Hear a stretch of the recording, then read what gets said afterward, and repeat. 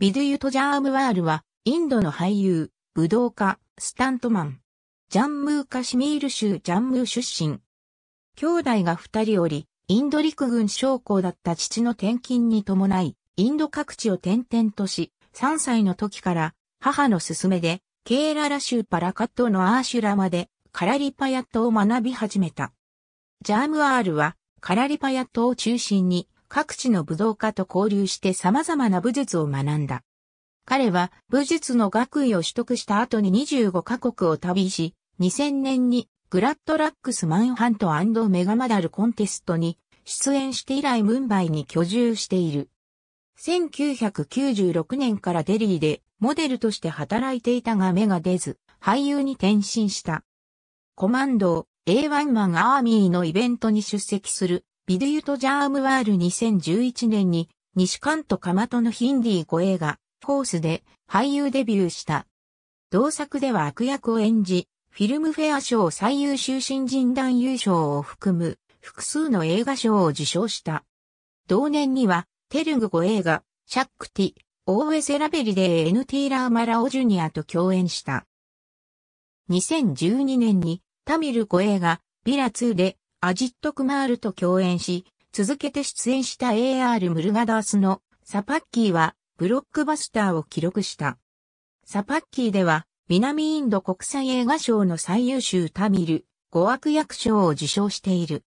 2013年に出演したコマンド A1 マンアーミーではスタントマンなしで自身がアクションシークエンスを演じた。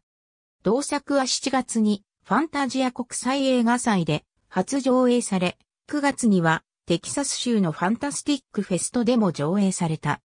ジャームワールは同作の演技で海外メディアやアクション監督から注目を集め、ブルース・リーとトニー・ジャーに対するインドからのアンサーと絶賛された。